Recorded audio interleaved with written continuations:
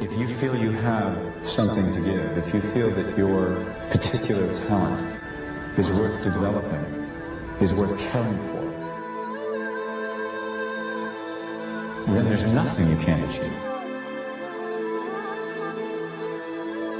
I don't get lucky.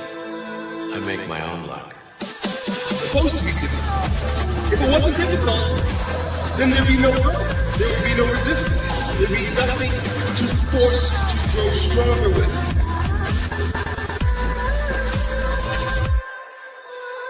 Through the challenges, through the resistance, and because.